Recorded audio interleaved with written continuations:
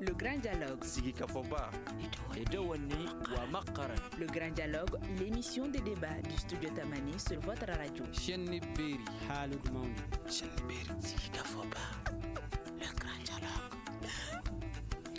S'informer pour comprendre, dialoguer pour s'entendre. Le grand dialogue pose le débat autour de cette question. Coup d'État au Mali, à quoi faut-il s'attendre maintenant? Et nos invités sont Mariam Diallo Dramé, présidente du réseau AFLED, une organisation de la société civile. euh, Khalid Dambélé, économiste, chercheur au Centre de recherche et d'analyse politique, économique et sociale CRAPES.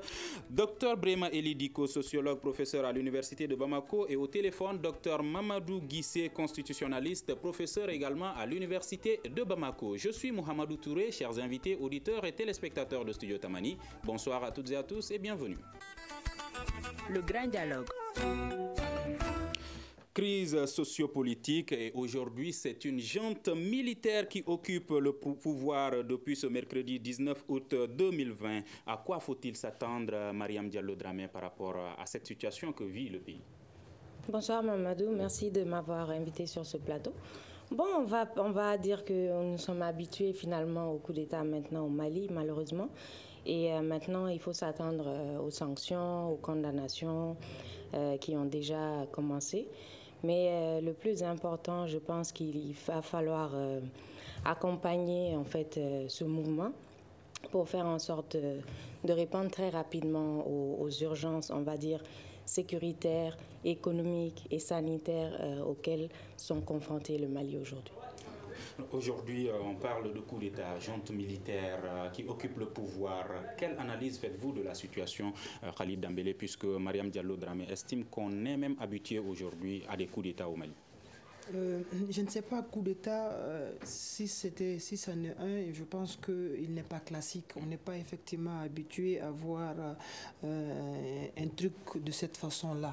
Il faut quand même rappeler que de, de l'après-midi, hier 14h jusqu'à 0h du matin, les leaders de ce mouvement-là, aucun d'entre eux n'avait encore pris la parole pour faire une déclaration quelconque engageant bien évidemment leur comité.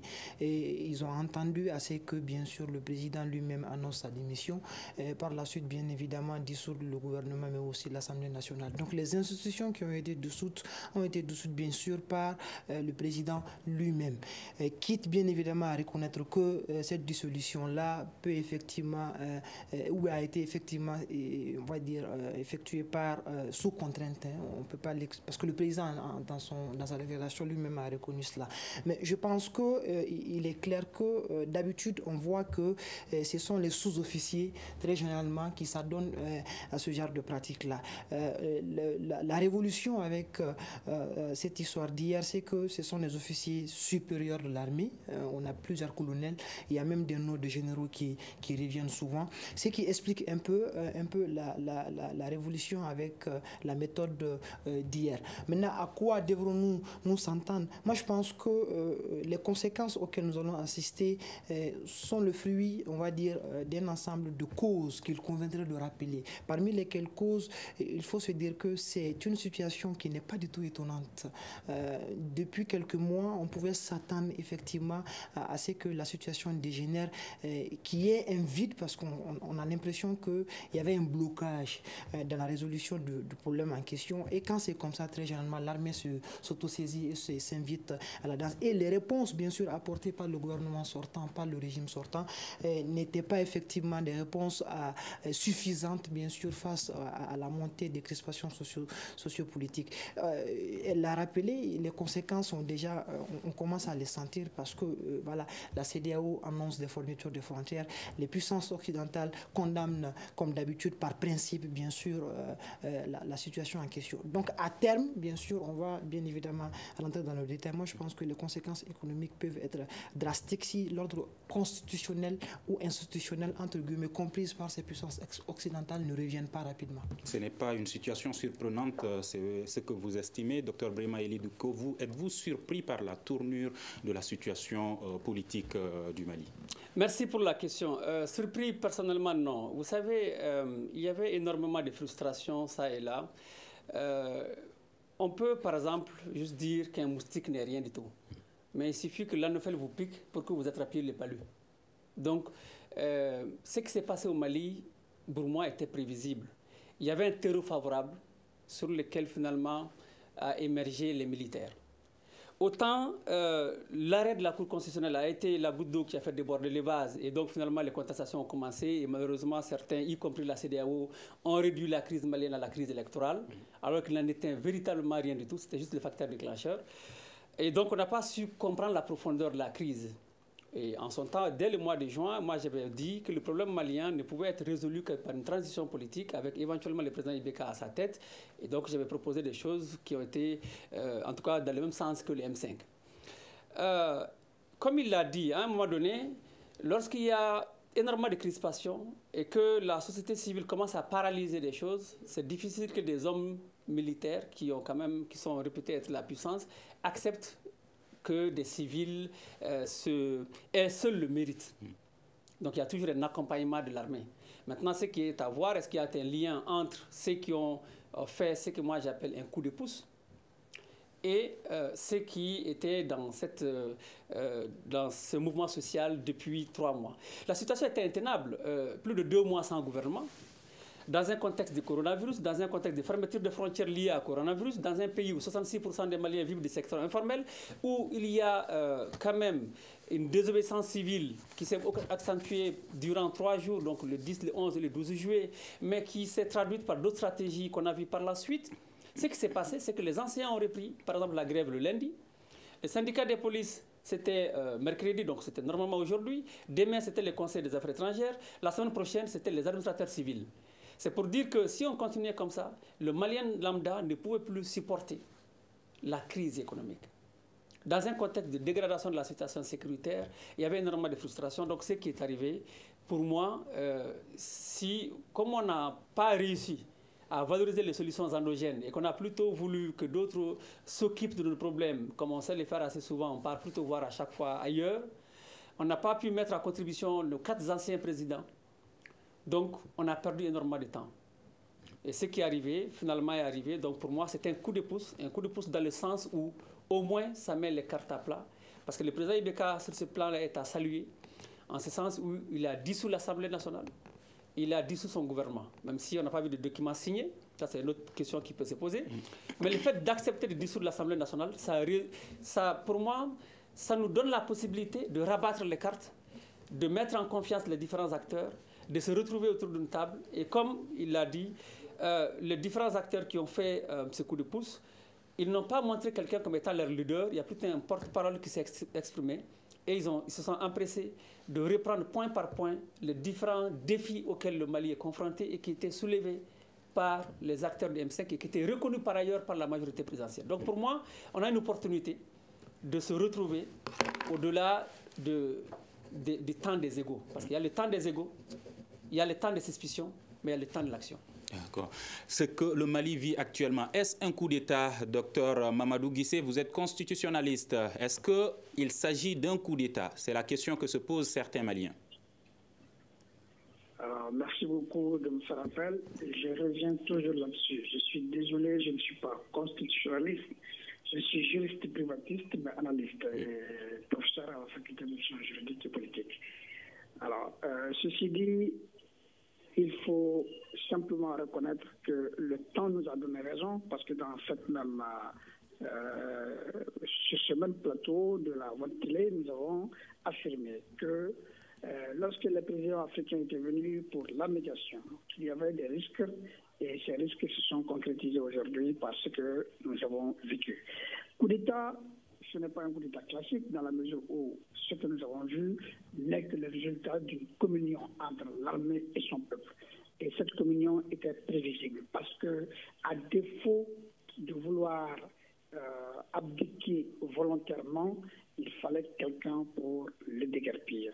Et ce déguerpissement se ferait sans effusion de sang, sans coup violent, sans coup férir, sans violence. Et cela, justement, est le fait d'une action combinée entre la population civile et son armée.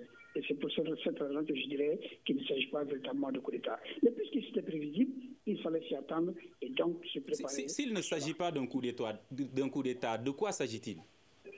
Mais vous voyez vous-même, puisqu'il s'agit effectivement d'une communion entre l'armée et son peuple, euh, je vais l'appeler simplement une mini-révolution entre guillemets. Communion, est-ce que cela veut dire qu'il y a eu un lien euh, entre le M5 euh, RFP notamment et les putschistes?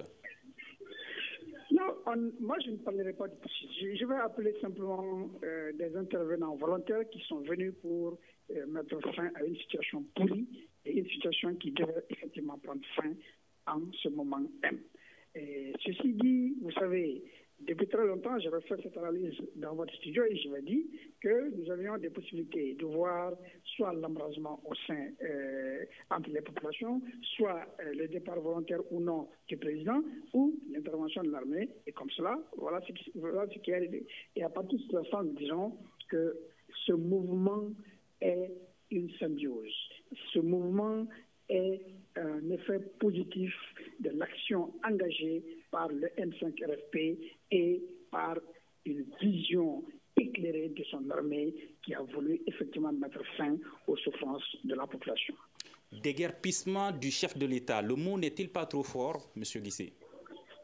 Alors, je ne dirais pas très fort parce qu'il fallait que cela arrive à un certain moment. Et c'est pour cette raison que moi, je vous avais toujours dit que ce président, d'une manière ou d'une autre, il fallait qu'il parte pour véritablement donner une certaine forme de paix et une certaine forme, n'est-ce pas, de stabilité aux institutions et à l'État lui-même. Khalid Dambélé, déguerpissement, êtes-vous d'accord avec euh, par rapport à ce terme? En français, très généralement, on dit que les mots n'ont un, sens que lorsqu'on les emploie dans une phrase. Ça dépend de euh, ce qu'il entend par déguerpissement ici. Mais moi, je pense que, euh, quelque part, il faut de reconnaître qu'à un moment donné, il fallait un déclic. Parce que ça a été rappelé par le sociologue. À un moment donné, on, on voyait que le pays fonctionnait au ralenti.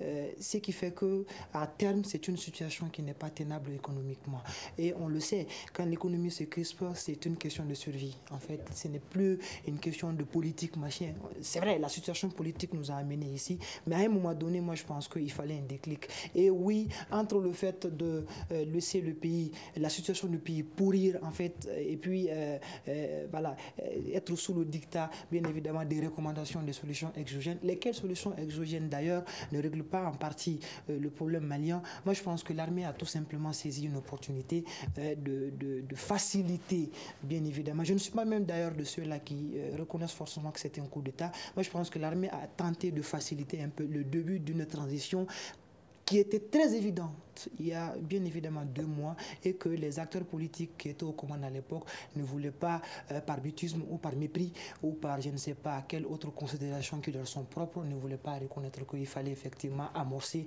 cette transition-là et donner un nouveau souffle à la dynamique du pays. À entendre Dr Mamadou Guissé, cette situation est bonne pour le pays aujourd'hui. Est-ce euh, votre sentiment également, Mariam Diallo-Dramé? Oui, le sentiment de sortir d'un blocage, en fait. Voilà, personne en tant que républicain ne, se réjouit d'un coup d'État. Mais honnêtement, on se réveillait chaque jour en se demandant ce qui allait se passer entre les manifestants, les barricades, les gaz, euh, et puis un gouvernement de six ministres dont aucune femme, pas un ministre de la Santé, alors qu'il y a la Covid qui est là. Bon, les, les, départements qui sont tenus par les secrétaires généraux, on ne vivait que des situations anormales et des situations qui faisaient, comme il le dit, que le pays vivait euh, au ralenti. Donc aujourd'hui, c'est une opportunité pour les Maliens de construire ce Mali qu'on revendique. Et là, c'est vraiment à chaque Malien en tant qu'individu vraiment de, faire son autocritique personnelle et vraiment de nous engager sur euh, des nouvelles bases pour euh, reconstruire en fait euh, ce pays. Parce que là on ne pouvait pas rester dans, dans, ce blocage.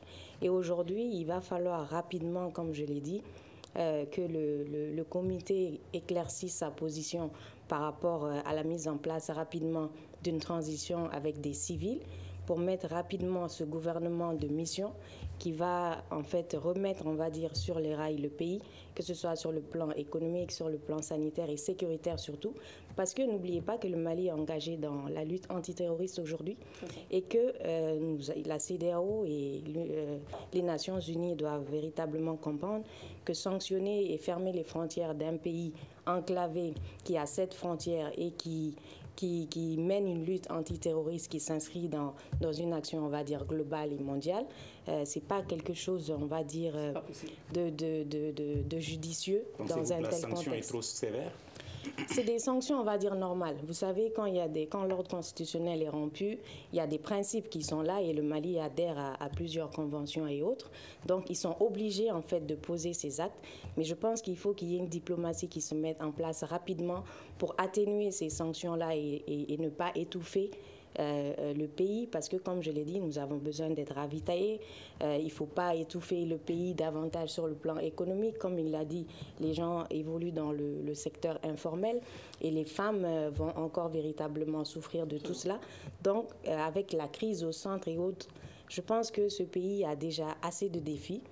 Euh, le coup d'État n'était pas quelque chose que nous souhaitons, mais malheureusement, il y avait un blocage qui était là et ça a été la seule issue. Et le mal est déjà fait et donc maintenant, il, va, il faut juste euh, sortir de, de cette situation rapidement. Et sur Facebook, Fousseini Diop demande en quoi ce coup d'État nous fait avancer. Brima Elidiko. Alors, ils l'ont dit tout à l'heure, je suis en phase avec ce que j'ai entendu. Euh, ça nous fait avancer pourquoi? Parce qu'il y avait un blocage, comme disait ma sœur tout à l'heure. Euh, S'il y a un blocage, il faut décrisper, mettre le, le à terre et mettre les gens autour de la table parce qu'ils ont dit nous lançons l'appel aux forces vives. Forces vives, ça veut dire qu'il y a l'ex-majorité présidentielle, il y a l'ex-opposition, il y a la société civile, il y a les Maliens de l'intérieur, les Maliens de la diaspora. Donc il y a toutes les personnes qui sont capables de se mettre au-dessus, de, en tout cas de mettre le Mali au-dessus des égaux et des considérations euh, autres pour pouvoir discuter et de voir surtout les réformes. Parce qu'elles sont connues, le domaine de la santé, de l'éducation, de la sécurité, de la justice. C'est clair, c'est tous les secteurs. Ok, Le mal était devenu pratiquement un cancer, mais qu'on peut heureusement guérir parce que là, au moins, il y a une possibilité. Donc, c'est une avancée parce qu'il y a une possibilité de dialogue direct entre les gens. Il n'y a pas de sentiment de supériorité de X et de Y. Les militaires eux-mêmes ont pris la mesure du phénomène. Ils ont récité les défis, les préoccupations des Maliens. Donc, ils n'ont pas le choix euh, de ne pas discuter avec les différents protagonistes. Euh, quand c'est comme ça, c'est une avancée. C'est une avancée aussi parce que ça nous permet euh, éventuellement d'avoir un parlement de transition qui sera perçu comme légitime. La question de la légitimité, au-delà de la légalité, est une question importante. Il y a la révision de la Constitution dont on parle depuis Alpha Omar qu'on n'arrive pas à faire parce qu'à chaque fois ça arrive au deuxième mandat, ça arrive dans un contexte de crispation politique et donc de délégitimité du pouvoir, en tout cas c'est perçu toujours comme ça. Et donc si on arrive à mettre un parlement inclusif où il y a les femmes, les hommes, toutes les corporations, l'opposition, la majorité, que chacun se retrouve dans cette institution, on pourrait après mettre en place tout un comité qui va relire, euh, par exemple, euh, l'avant-projet euh, de révision constitutionnelle, des choses comme ça, et surtout mettre en place que les différents acteurs trouvent un cadre serein, où il n'y a pas de pression, pour s'accorder sur le nouveau code électoral qui va, par exemple, introduire les proportionnels. Parce que si les partis politiques sont obligés de faire des alliances invraisemblables, c'est parce que le, le- le mode de scrutin qu'on a aujourd'hui ne permet pas c'est un tour majoritaire. Donc il faut quand même instaurer un autre type proportionnel. Comme ça, chacun reste dans son camp avec une idéologie. Et puis on se défend et on est sûr d'arriver. Donc pour moi, toutes les réformes euh, peuvent être mises en place parce qu'il y a maintenant un cadre pour ça. Et une autre question d'un internaute euh, sur Facebook adressée à M. Guissé. Euh, Mo- Mohamed Traoré demande, il dit, dans l'allocution du président d'hier euh, nuit, il a d'abord démissionné puis dissous l'Assemblée nationale et le gouvernement. Un président qui a déjà démissionné peut-il dissoudre l'Assemblée nationale et le gouvernement? C'est sa question. En fait, il faut voir dans cette situation euh, un prérequis. En fait, avait-il déjà démissionné avant de dissoudre les institutions ou a-t-il effectivement dissous avant de démissionner? Mais là, cela ne pose pas de problème. Dans certains cas, nous voyons que la démission du président de la République entraîne, dans une situation de crise, entraîne ipso facto euh, la disparition et de l'Assemblée et de toutes les autres institutions avec lui. Parce que si dans une situation de crise, le président s'en va, il s'en va avec ce qui s'ensuit. Mais dans un cadre constitutionnel légal, effectivement, il fallait d'abord que le président procède à la dissolution de l'Assemblée et du gouvernement avant de de prononcer sa propre démission. Mais je pense que dans tous les deux cas, nous sommes dans une situation de crise et ce qui était recherché, c'est justement euh, la disparition et du président et de l'Assemblée et du gouvernement. Chose faite dans un contexte où il faut analyser que cela nous permet, parce que je pense que les militaires ont certainement bénéficié d'un bon conseil permettant justement de faire démissionner le président et de démontrer à la face du monde que nous n'avons plus besoin d'interventionnistes parce que la CDAO, comme tous les autres, il ne faut pas tenir un double langage. Alors, pour que les auditeurs et les téléspectateurs puissent mieux comprendre, quand vous parlez de disparition, vouliez-vous dire départ du président de la République? Départ, bien sûr. Ben, certains, vous savez, aujourd'hui, avec l'euphorie, je pense que les mots me viennent. De Merci, d'où l'utilité de bien préciser pour que les auditeurs et les téléspectateurs puissent comprendre. Voilà, je, parle effectivement du départ du président de la République. Mm. Et justement, ce départ était la chose recherchée. Ils ont dû s'inspirer un peu de ce qui s'est passé au Zimbabwe, où effectivement la junte a simplement déposé le président en lui demandant de démissionner et de se mettre à l'abri. Et je pense que cette situation est même souhaitable dans la mesure où, un, il n'y a pas eu véritablement de coup de force où nous avons arrêté Manu Militari, où nous avons effectivement violenté, où nous avons eh, déshonoré, où nous avons humilié. Non, nous avons simplement démontré que nous pouvons effectivement euh, remettre le peuple dans son juste droit et dans son bon droit en faisant en sorte que le président de son propre chef, même si entre guillemets on pourrait dire qu'il a démissionné sous la contrainte, oui, la contrainte dans certains cas est justifiée. Parce que s'il a démissionné euh, dans une contrainte, n'est-ce pas un coup d'État alors?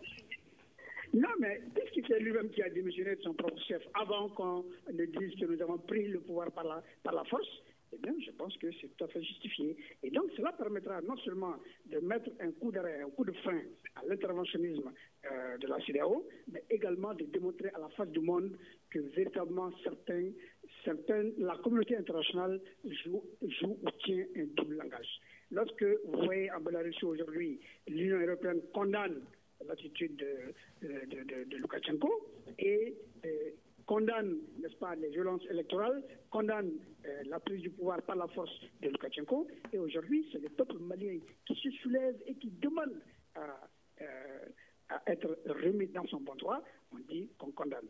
Pourquoi N'avons-nous pas le droit à l'autodétermination? N'avons-nous pas le droit de décider effectivement de nos sorts et de notre sort? Je pense que ceci fait en sorte que, effectivement, cette démission doit être prise dans un contexte de crise et un contexte justifié. Je pense que le docteur Elie vient de le dire, il y a la légitimité et la légalité sont des termes qui conviennent ici à appliquer dans le contexte présent.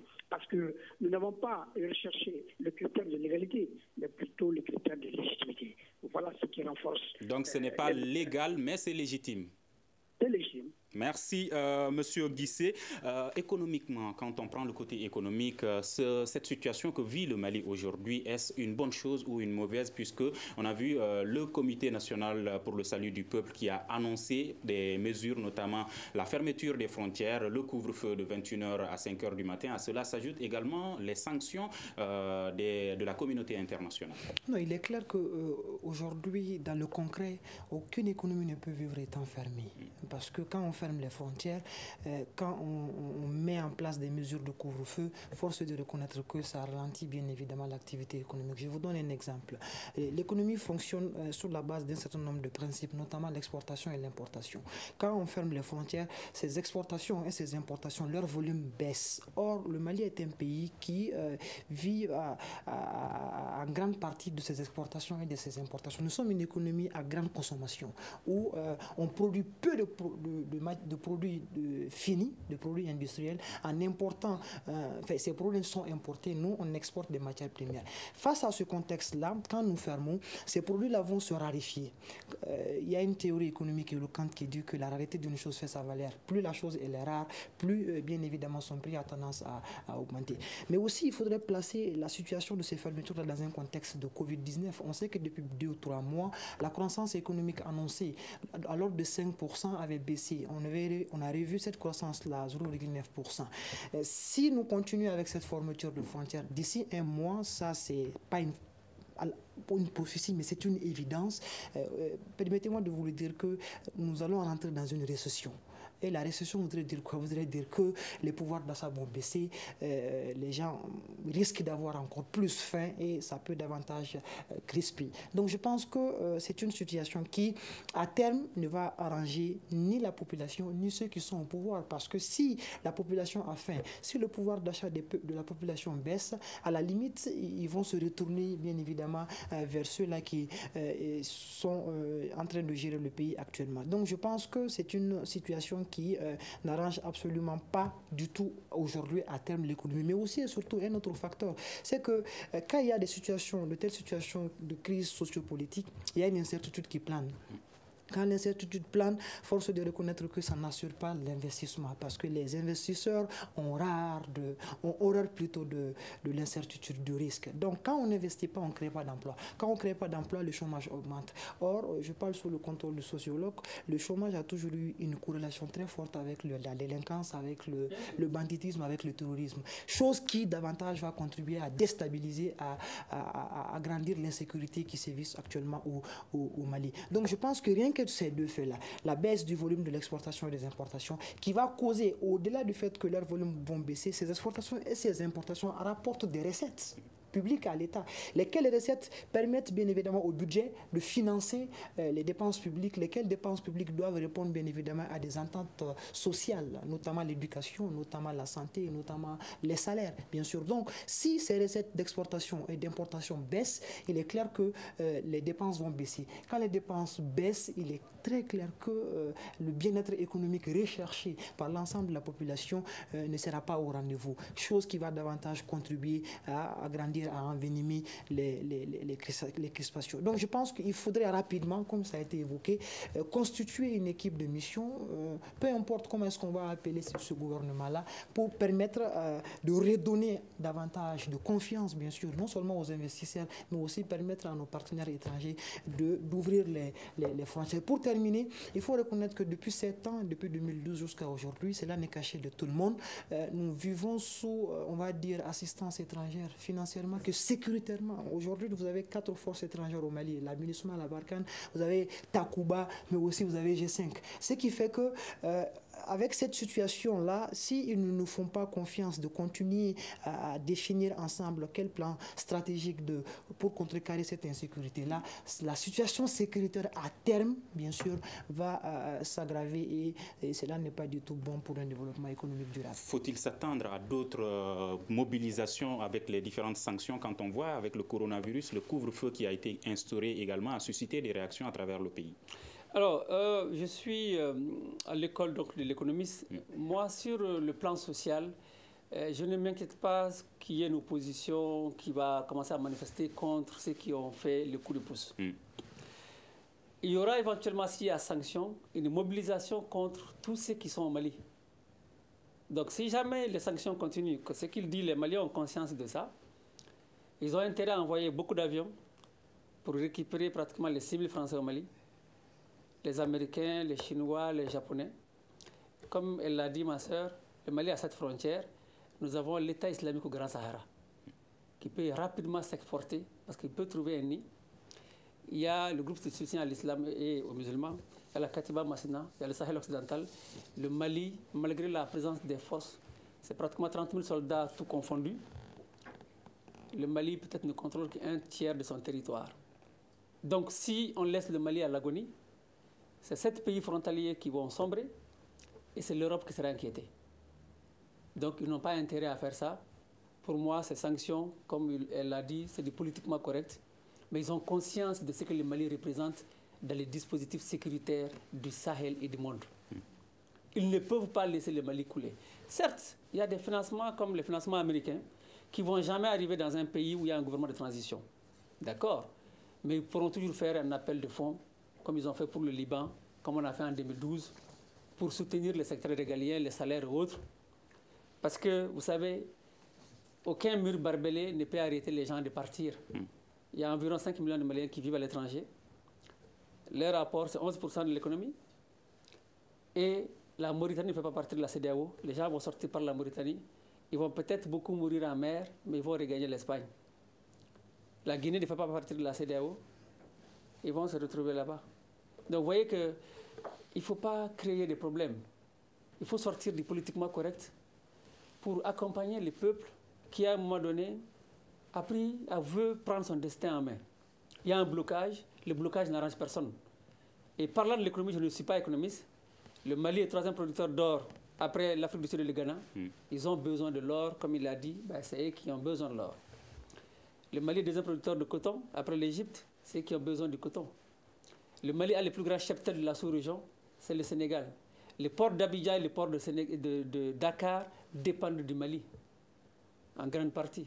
Donc, en fait, ils ont besoin de nous comme nous avons besoin d'eux. Moi, je ne m'inquiète pas qu'il y ait une mobilisation des Maliens contre d'autres Maliens. Il faut simplement que le dialogue soit franc, direct et que ça aille vite, qu'on sorte de la suspicion et qu'on sorte de la peur des sanctions possibles. Parce que les sanctions qui vont arriver vont simplement toucher des gens qui vont prendre des avions, qui vont partir. Et nous, on a besoin d'un État debout. Madame pour ça, on a besoin de tous les Maliens. Le mouvement du 5 juin demandait le départ du président de la République. Aujourd'hui, avec euh, cette situation, cette nouvelle euh, situation, est-ce la fin du mouvement du 5 juin notamment? Peut-on parler de la fin? Bon, ça, je pense que c'est c'est eux-mêmes qui peuvent dire euh, quelle suite ils vont donner à leur mouvement. Mais euh, toujours est-il que ce qu'ils voulaient, en fait, euh, s'est réalisé.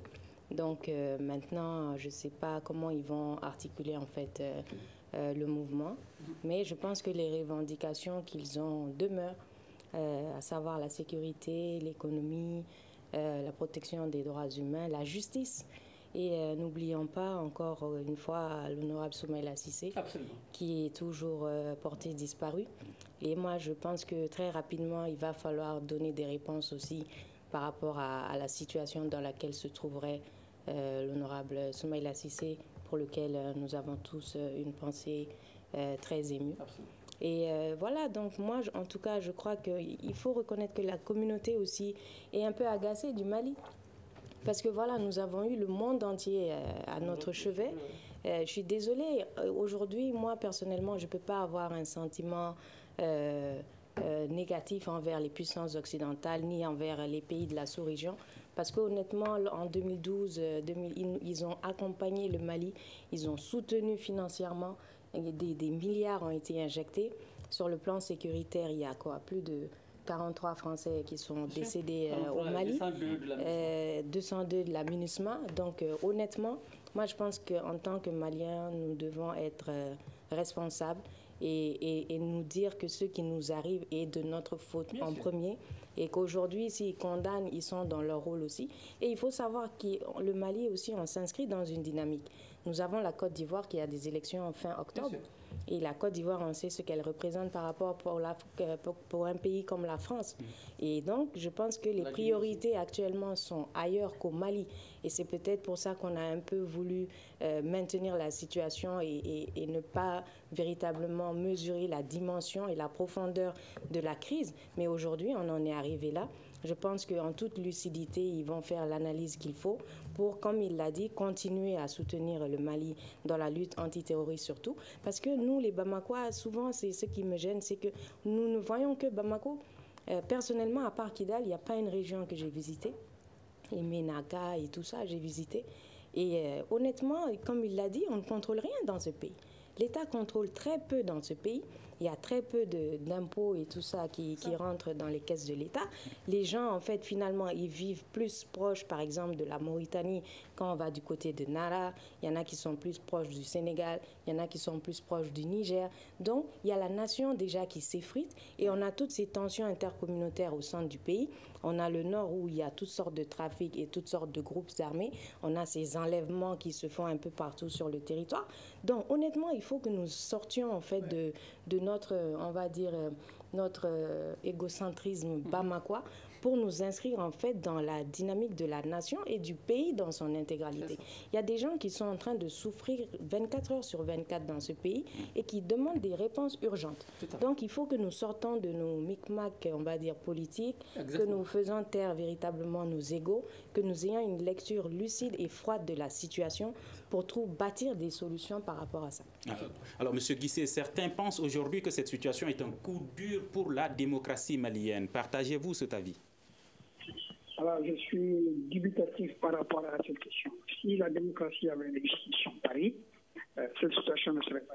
Parce que dans tous les cas, 1991 à 2012, le Mali était pratiquement cité un exemple de pays démocratique ayant réussi cette transition. Malheureusement, nous avons vu que ce sont ces mêmes démocrates qui ont un peu euh, traîné les pieds, qui ont été un peu laxistes, qui ont encouragé la malgouvernance, qui ont encouragé, la corruption et qui se sont mis effectivement à la marche de la démocratie et qui ont contribué effectivement à un soulèvement populaire. Je pense que nous devons revenir aux fondamentaux du Maxime qui a dit que effectivement quand les, dirigeants n'arrivent plus à diriger comme par le passé, que quand les dirigeants ne veulent, ne veulent plus être dirigés comme par le passé, il suffit juste d'une petite étincelle pour que la situation révolutionnaire soit là.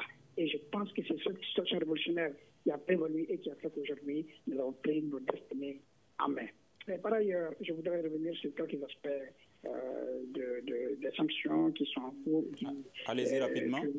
voilà, rapidement, parce qu'en fait, euh, je crois que c'est une situation à laquelle nous devions nous attendre. Nous avons survécu par le passé grâce à notre humilité, à notre sens élevé du devoir et à notre solidarité. Je pense nous allons également survivre.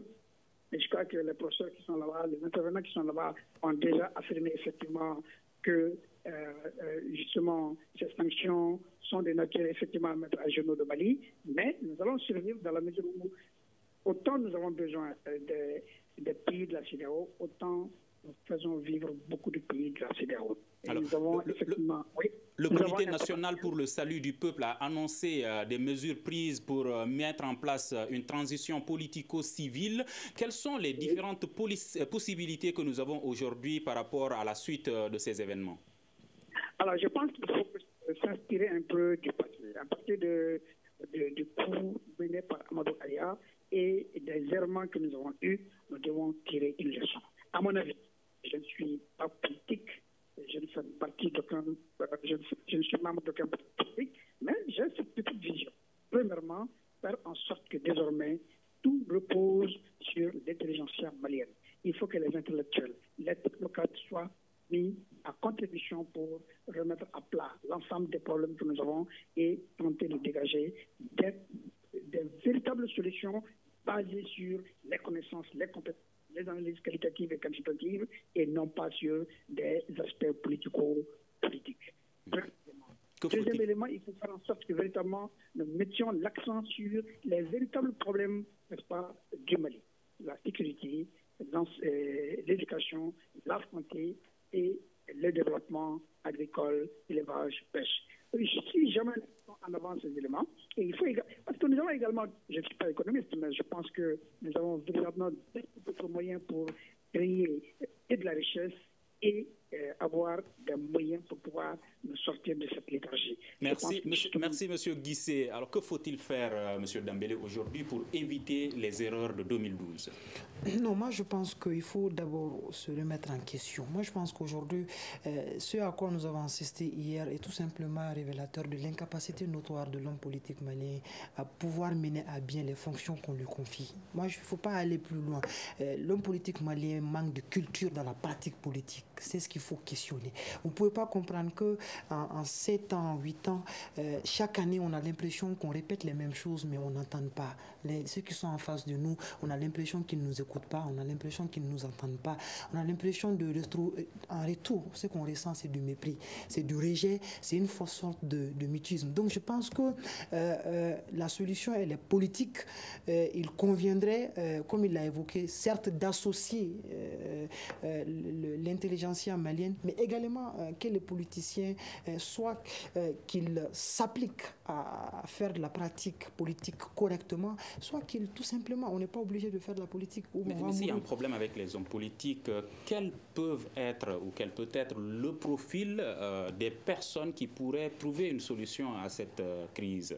Non, moi, moi, je pense que problème avec, avec eux, le, profil, c'est, ça ne se décrète pas, ça se construit en fait. Ceux qui viennent sur la scène politique, euh, à partir de cet instant-là, ils doivent avoir en tête qu'on a eu à faire ces erreurs-là. Et c'est des erreurs qui ne doivent plus se répéter. Et on doit se réinventer une culture dans la pratique politique, ne pas reprendre les mêmes, euh, les mêmes comportements, ne pas reprendre les mêmes erreurs. Et pour terminer, euh, pour ne pas être très long, moi je pense que ce pays vraiment a besoin d'une sorte de transformation structurelle dans tous les domaines.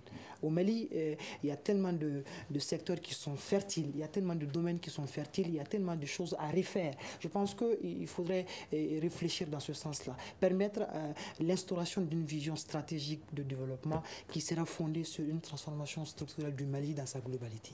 Normalement, des élections doivent être organisées dans les prochains jours ou mois. À quand est-ce qu'il faut s'attendre à l'organisation, la tenue de ces élections-là?